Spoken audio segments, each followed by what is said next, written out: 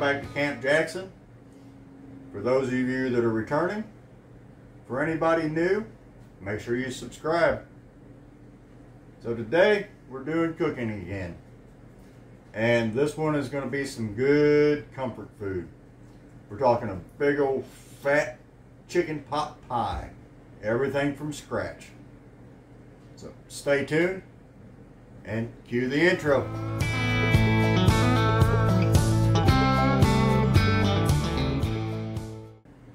Okay, we'll go over these ingredients, but I will put a list of them in the description along with the directions. It's not that hard to do. It does seem like there's quite a bit, but for what you get out of this pie, it's worth every minute of it. Food is a labor of love, and I love food and I love to cook. Well, there's our oven. It's preheated to 375 degrees. So if you haven't already, get yours preheated.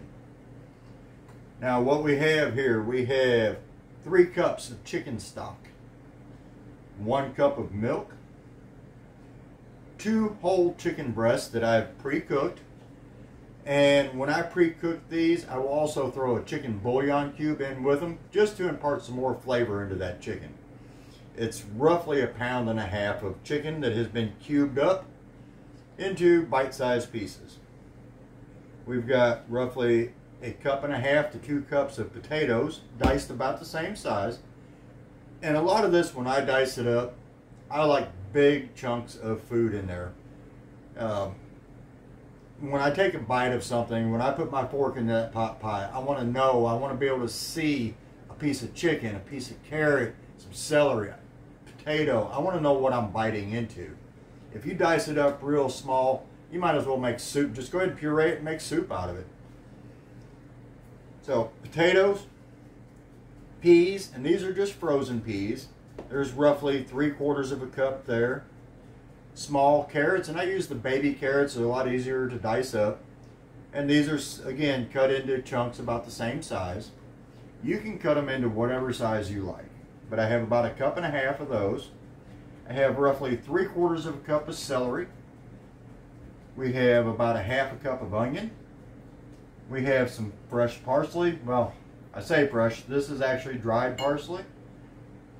We have a teaspoon or three quarters of a teaspoon of celery seed. We have one teaspoon of kosher salt, one teaspoon of black pepper, nine tablespoons of butter, unsalted, and nine tablespoons of flour.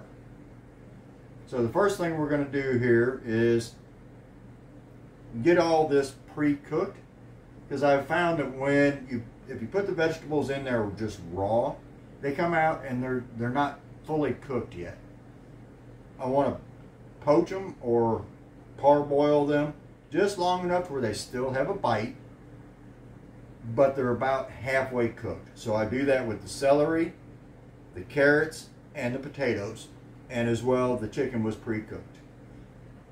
So, and I do cook these in separate pots because they will cook at different times. And I don't want to have to try and separate them out of the pot. This way I can get each one just to the doneness that I want. So I'm going to get the other camera set up over the stove here. And what we're going to do is we're going to get our butter melted and we're going to start cooking our onions just till they become translucent. Then we're going to mix in our flour and make our roux out of that, which is what will thicken the entire sauce. So let me get you set up over here and we'll go from there. Oh, before I forget, the pie crust. We already have a video up on how to make a pie crust. So I didn't bother filming any of that this time. But what I have done is got my pie crust into the pan and I've pre-baked it nothing worse than a soggy raw pie crust on the bottom of the pan. If you've ever had a piece of pie and the bottom of it is like that where it's just like raw dough, that's horrible. Don't do that to your guest. So I pre-baked the bottom half of the shell. Once we get everything into the pan, then I will go ahead and roll out the top, get it on there, and we'll get it off into the oven. Okay, we've got our butter melting. As long as I can keep my big head out of the way of the camera. Like I said, this is nine tablespoons of butter and about a half of a yellow onion. We'll get that in there. And I brought over everything to the stove with me except the parsley. We're going to add that in later. So let's get this butter melted all the way and get these onions just till they're translucent. This will take a few minutes. We'll adjust that heat if we need to. Give this about five to ten minutes. We'll check it and stir it every few minutes.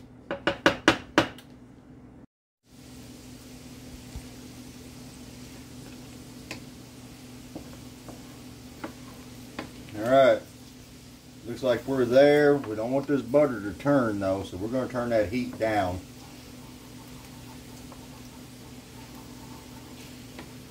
Now we're going to add in 9 tablespoons of flour. We'll start stirring that in to make this roux. We're going to add in our celery seed, our black pepper, and our kosher salt. Get that mixed together here.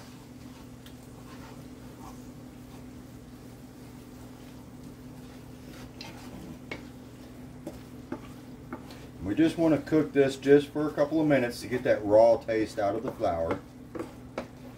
We don't want to brown it like we're making a roux or say, a gumbo or anything.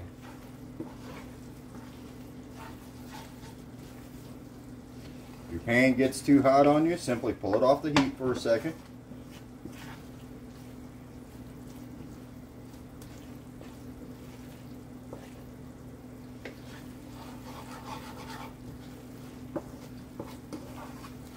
And don't stop stirring. This is one of those times, do not walk away from it and don't quit stirring. Alright it's like we're there. Start adding in this chicken broth. Or in this case, it's actual stock.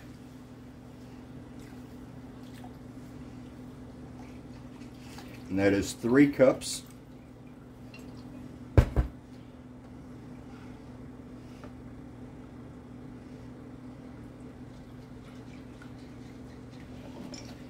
And we're going to add in one cup of whole milk.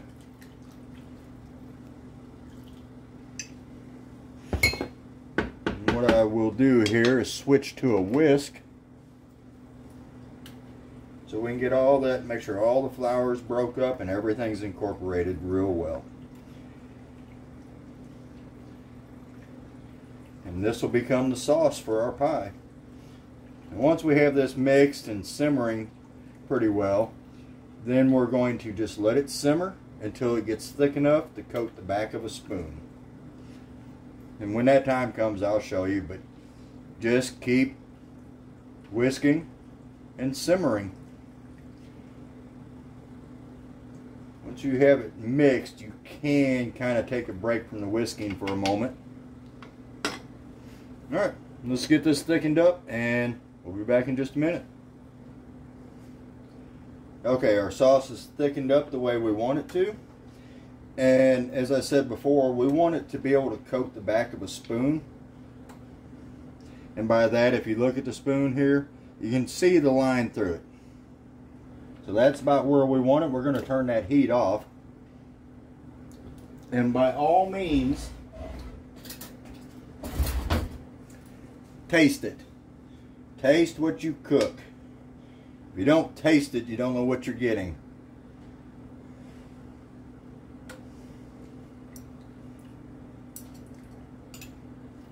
That's pretty good, but it needs more salt, I think. So we're going to go with another few pinches of kosher salt here.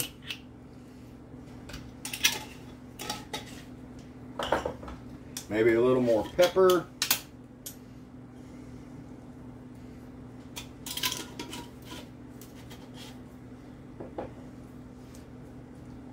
Adjust the seasonings to the way you like them.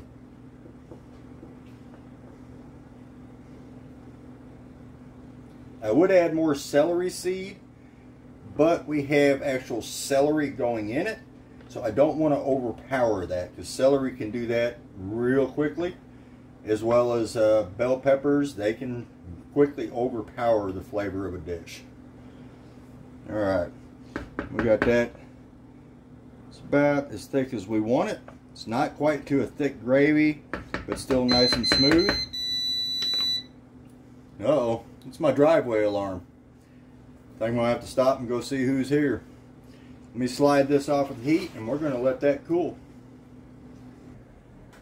Alright, now comes the easy part. We've got our sauce made. We have our pie crust pre-baked for the bottom of it. We have our ingredients and what we're going to do here is we're going to take everything that we've pre-cooked, our chicken, our carrots, our celery, our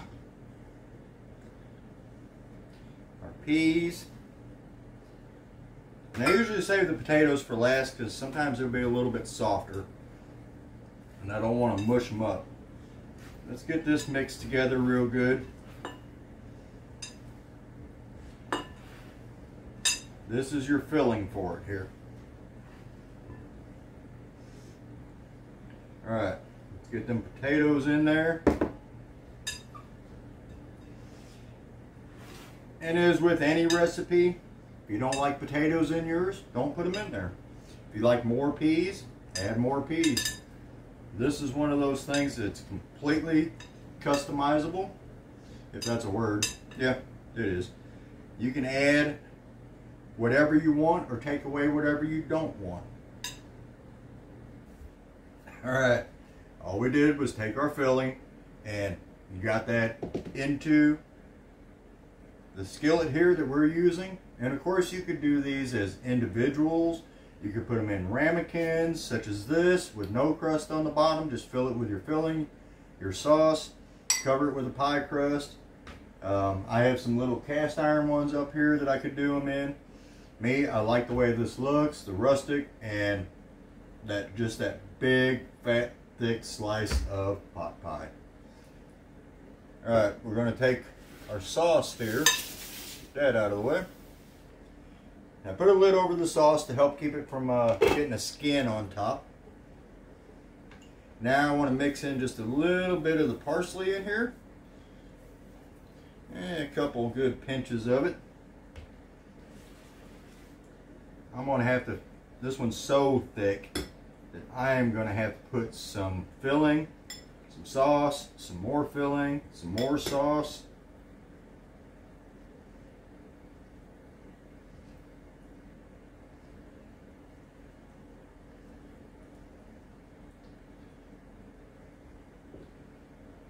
There we go.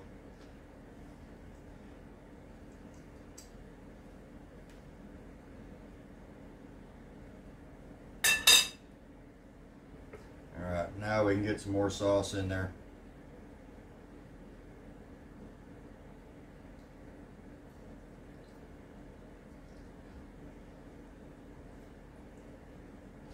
Get that mixed in.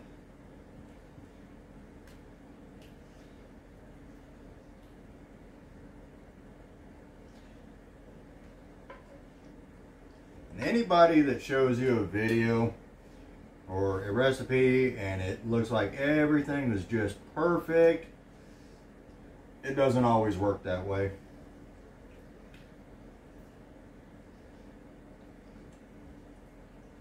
Sometimes you have to make adjustments and be prepared for that.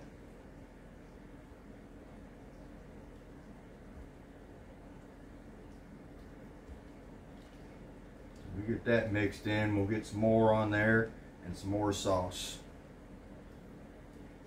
We'll just keep filling this thing up until I'm happy with it.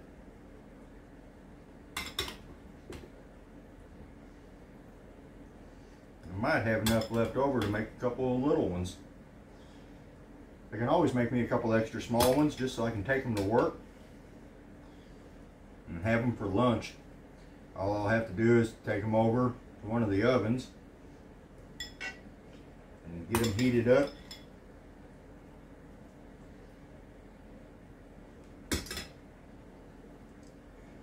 little more sauce.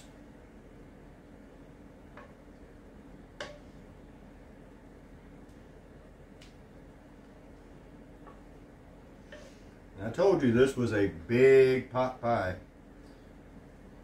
Look at my stomach. I like to eat.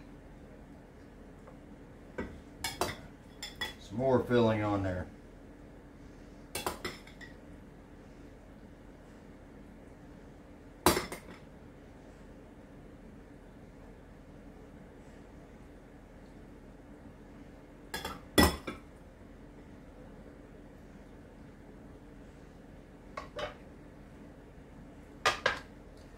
Alright, I'm happy with that. Now, let me get my hands cleaned up, get the top crust rolled out. I've got it chilling in the refrigerator. I'm to get it on here and we'll get this off into the oven. Alright, as you can see, we got everything enclosed in here and that pie is fat. It will drop down some as it cooks. And what I did was I took a little bit of egg wash and went around the edge of the pre-baked crust and then just use my fingers to try and press that down. We want to try and keep it from leaking as much as possible. And then I just roughly cut it because it may shrink a bit on me. So, and I like that rustic look where it just kind of hangs over. I don't want a perfect, fresh from the factory look. Last thing we need is some vent holes in the top. So we're going to cut a few slits in this. Just so the steam can vent out.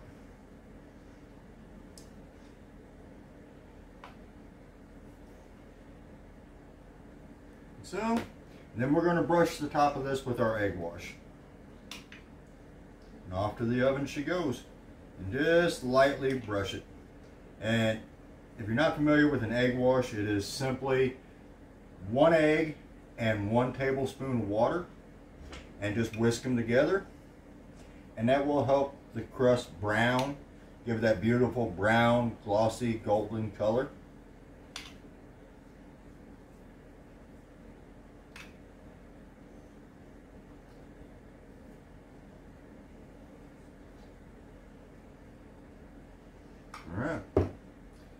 Off to the oven she goes. And I will, I will put a uh, cookie sheet or a baking pan underneath this. Um, in case anything does leak out, I don't want it dripping into the bottom of the stove for my wife's sake. Because as good as these recipes are, as much as I love them, as much as I love to cook, the real hero here is my wife. Bless her heart, after all my cooking and all the dishes I go through, the measuring cups and tasting spoons and pans, my wife cleans it all up after me. And she works a full-time job, 50 plus hours a week. So bless her heart, and baby, if you're watching this, I love you and thank you. But back to our pie. Let's get this in the oven. 45 minutes to one hour on 375. Once it's done, it's going to come out and we're going to let it cool for at least an hour before we try and slice into it.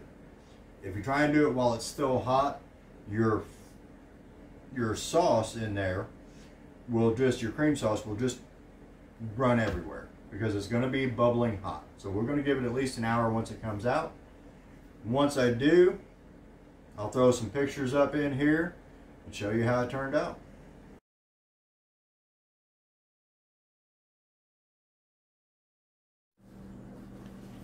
Alrighty folks, as you can see, the pie was done my wife and I, of course, we already had our fair share of it.